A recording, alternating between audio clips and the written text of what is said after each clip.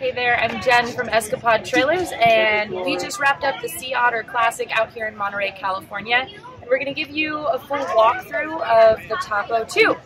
So we will start up front here um, with the tongue box. We were able to integrate a tongue box into the design of this trailer, going to the single piece structural composite shell. We really wanted to make sure that we thought of every little detail.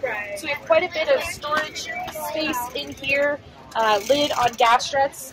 This is kind of an example of how you could set this up depending on what you, what you want to bring on the road with you. The only thing that will be standard in here is the 11 pound propane tank uh, along with this L-track. There's also a rubber removable floor mat in here. Um, we have a 2000 watt inverter along with us on this trip because we are testing uh, an AC unit uh, that does run on 12 volt system, but it drains the battery in four to six hours or so. So if you are going to run an AC, the backup generator is a great option.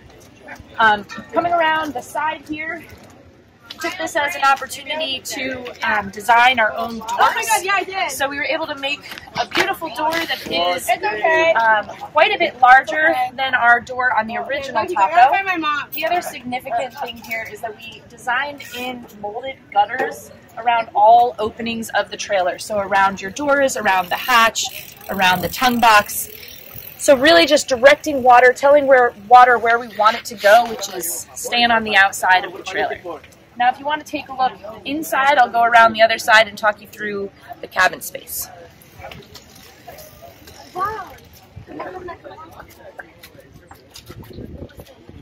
So starting closest to the door there, you're going to get a look at what we are calling the mudroom. So at both entryway doors, you have about a five inch space here where you can hang your coat, stick bulky items that maybe got wet or dirty out in your day of adventure and fun. You also have a designated spot for your shoes. Getting in and out of a teardrop trailer, one of the questions you always ask yourself is, what do I do with my shoes? So we are happy and very excited to have a dedicated place for that. We're using HDPE along all of these exterior edges. Um, there's no structural wood in this trailer at all, but we do love the warmth of the Baltic birch. So you'll see those accents carried over from the original Topo on the cabinet faces, um, as well as on the headboard over here and some decorative panels along the soft touch headliner. Um, on the opposite side of the mudroom, we have our nightstand. So you've got a cup holder up front here, a little storage cubby in here, wireless charging on the flat surface of the nightstand here, and still have that USB charge port for you as well. Inside the headboard is an additional nearly five cubic feet of storage. So you can see not only is this fairly deep, but um, this direction, but it's also deep downward. So putting this pillow in here sits nicely. Great spot to store camp chairs, long um, objects that you're bringing with you while you're out at camp. Now interior, as we work our way into the center of this, we've got the systems monitor on here. So this unit is going to give you a readout on battery levels. It'll estimate the number of days on your battery that you still have left based on your current use, as well as the charge that's coming in from the solar panel.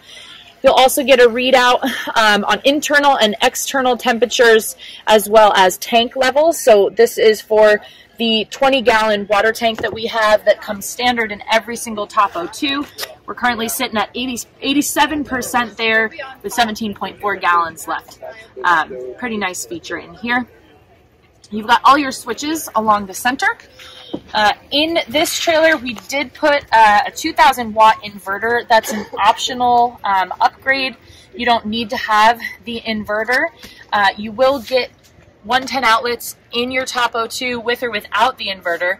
If you don't have the inverter, you'll have to plug in through shore power in order to have pass-through power to those outlets. Um, otherwise, if you want off-grid access to 110 power, then you can add the inverter, and that just powers on simply from a switch inside of the cabin. Same thing with your interior lights. So we've got these really nice integrated lights up top here as well as exterior lights. So you've got your porch light on either side of the trailer um, in the entry doors, And then we added these rock rail lights. So this is just some ground lighting, really nice at, at night if you are just looking to make sure you can find your way back to the pod after that midnight pee break.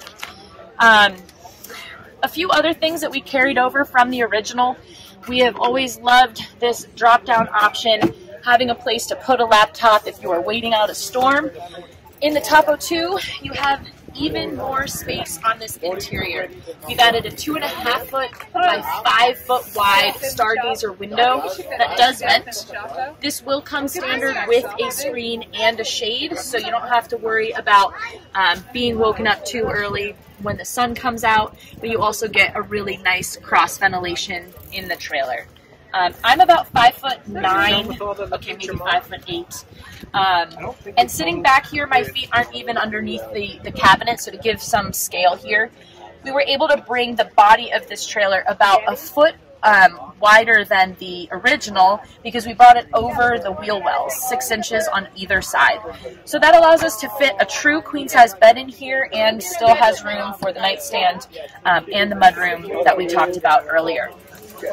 So closing this up, a few more features, um, just cabinet space. I guess you probably can't see that side. So we'll open that here. Um, similar on through all three of these cabinets. Got an upper shelf on there. And then inside here is going to be your thermostat, your master power switch, and then the ZAMP 30 amp solar controller. Now that thermostat, you just set the temperature and the heat will kick on. Now, one of the things that makes the Topo 2 so special is that all of the mechanical systems have been moved inside the trailer and situated um, right over the wheels. So really great positioning for anything that is super heavy to provide a really nice, smooth, even, stable tow. Um, so behind uh, here is what we're calling the utilities closet. Um, you do have your shore power port right there, so you can plug in and charge your battery or get that pass-through power to use those 110 outlets. And then we have the exhaust for the Truma Combi Eco Plus, which is a combination um, forced air cabin heater as well as water heater, which brings us back around to the galley. You've got a sink here with access to that hot water. Um, all you need to do to use the um, water system is turn on that pump, and then you'll have access to the 20 gallons that are on board here. Uh, that unit, the Truma Combi, is situated behind this access panel. Now we also have this knife storage behind here. Um, when you are in transit, you'll just go ahead, cover that up with the cutting board. And the side table over here, you might have seen me walk by, that actually will collapse down and then stows in place as the cabinet base just drops in here and you secure it in place with these tabs. Um, cabinet faces, if you have used a trailer before, they usually just end up in your way when you're at camp. So we just repurposed it to give you a little bit more flat space. You can ha never have enough flat surface space when it comes to kitchens. Now up front here, we moved the uh, stove down, which allowed us to integrate a full-size sink. This is nice and deep sink, so it's actually functional to do dishes in. Um, and then down here we have a two-burner ENO stove with recessed knobs, so you're not going to worry about your knob melting as your pans are heating up. Um, beneath the stove, we have additional storage for silverware, flatware, um, utensils, and such and still have plenty of space space up here for food storage, dishes, pots, and pans. We've also made this center cabinet um, a modular unit so you can customize it based on what you want to bring out on the road with you. So these just slide in and out and can move through any of those positions there. Um, as for lighting in the galley, we have an LED light strip up top here, your white light, and then also a red light. So if you don't want to attract bugs, the red light is a great option there. Um, and then we did get a 75 liter Yeti uh, into into this trailer. Uh, you can also fit an ARB 63 quart fridge freezer. This is on 500 pound locking door slides. So you just press those down. This locks out when you are using the cooler. Plenty of space in there for food, even once you get ice in there. Um, and this is one of the major uh, differences and upgrades from our original to the Topo 2, besides the construction, obviously. is that 63 quart fridge freezer. We could only fit about a 35 quart in our original, so we're super excited to be able to have a much larger capacity um, fridge in this trailer. As for options and upgrades, um, we will have a rock rail addition, so those will be bolt on into the trailer. You can see underneath the frame um, where those can be bolted in. We did carry over the side receivers. There will also be an option for um, a rear receiver so you can bring your bike rack with you as well, uh, which makes for a great great option for those mountain bikers among us. Um, and then, of course, is the Freeride suspension system. So this trailer offers about a 23 inch uh, ground clearance, 5 inches of independent travel, wheel to wheel. Uh, what you're looking at is the standard wheel and tire setup. So you have the Manx 355 wheel um, and the Grabber ATX um, all-terrain tire. Now, one final aspect of the Topo 2 that we haven't gone into depth on just yet is the body itself. We have constructed this trailer as a single piece structural composite shell. So it is done in one layup. So not only the fiberglass, but also the foam, foam core that gives it its structure and insulation. That is all one piece. We were able to really play with the shape here to give it a really nice aesthetic appeal. We added in some flat areas along the top here. This is called the Mohawk, where we have our roof racks, which do come standard in the Topo 2. And those can actually be uh, infinitely adjustable along this track here. So depending on what you're carrying on the roof, you can move those around. As I mentioned earlier, we were able to design in mechanical gutter systems into the mold itself. So you'll see around the hatch how water is designed to just flow down along here and then right off the trailer.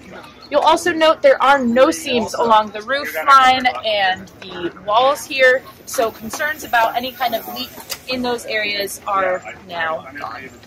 Um, the structural composite shell also allowed us to do things like a sink. When we had structural wood in our trailers, we opted to keep the sink as an external option and the water tank externally mounted. With the composite, we were able to bring all of the mechanical systems inside so that not only increases longevity of your battery during a single trip, but over the life of the trailer. It also allows for you to use your water system uh, year round. And the shell we were able to mold in um, places for taillights so we could play with shape and form and custom create a lot of details for this trailer um, that weren't on the market before. You'll also see a 140 watt solar panel that does come standard on every Topo 2. This will charge when it's plugged into the trailer and you're towing it behind your vehicle. It's also removable with a little kickstand and a 12 foot extension cord so you can park your trailer in the shade, position that in the sun, and charge up the lithium battery that is on board your Topo 2. So head on over to escapod.us and learn more about this new product.